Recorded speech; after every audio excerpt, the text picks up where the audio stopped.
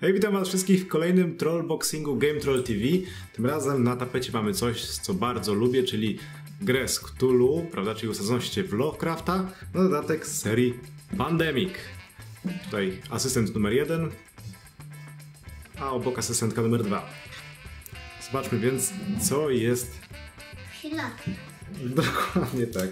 Dobrze, że ci pomogłam. Tak, dobrze mi pomagać mówić, bo nie wiedział co powiedzieć.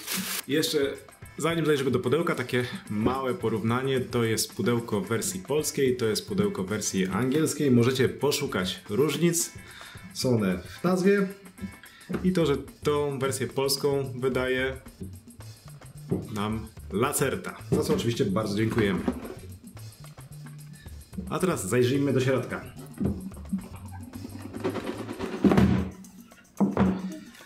Na początek oczywiście instrukcja. E, Poprawiona wydaje mi się w stosunku do wersji oryginalnej. Jest trochę bardziej przejrzysta. Mamy żetoniki, które Maja już nam wypstrykuje. A te żetoni- żetoniki to będą pieczęcie do bram. A to szczerze mówiąc nie wiem jeszcze. Nie pamiętam tego z wersji angielskiej. Następnie mamy planszę, bardzo ładną, długą, e, bardzo ładnie zilustrowana, w klimacie takim mrocznym, ciemnym, bardzo fajnie wygląda.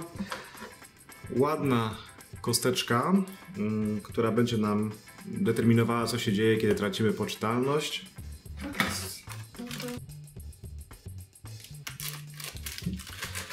Pionki badaczy.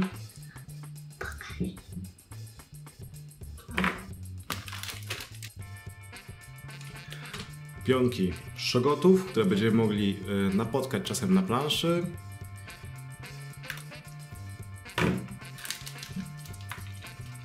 A co to jest to niebieskie? To jest szogot, taki potworek. I trochę pionków kultystów, którzy będą nam zastępowali w tej grze żetoniki z zarazy znane z pandemii. W jednym kolorze nie ma to znaczenia. Następnie mamy karty przedwiecznych, 4, 5, które będą determinowały nam y, efekty w czasie gry.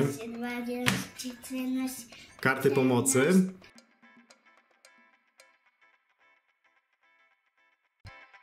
Następnie karty poszukiwaczy, które będą pasowały do naszych pionków. To są takie same karty jak w Pandemiku, oni mają jakieś, e, różnią się e, szczególnymi umiejętnościami, natomiast co ciekawe mogą stracić poczytalność i wtedy te ich postaci stają się słabsze. Następnie karty, które będą nam służyły do poruszania się po miastach Arkham, Innsmouth, Dunwich, Kingsport, a także do pieczętowania bram. Karty przebudzenia zła, czyli tak jak było tam e, pandemii, chyba się nazywało. Relikty, czyli specjalne karty ze specjalnymi efektami. Tutaj mamy takie e, artefakty zamiast na przykład helikopteru jak w pandemii. No i karty, które będą e, determinowały, gdzie pojawiają się kultyści. Słuchajcie, to wszystko, karty pomimo tego, że wyglądają inaczej, ta gra wygląda trochę inaczej, jest podobna do Pandemika, zaraz będziemy grać. Słuchajcie, e, spodziewajcie się niedługo recenzji, ja w tę grę już grałem, wersję angielską, wiem już co na temat, jej temat sądzę, ale będziecie musieli poczekać do recenzji. Hej, do zobaczenia na kanale.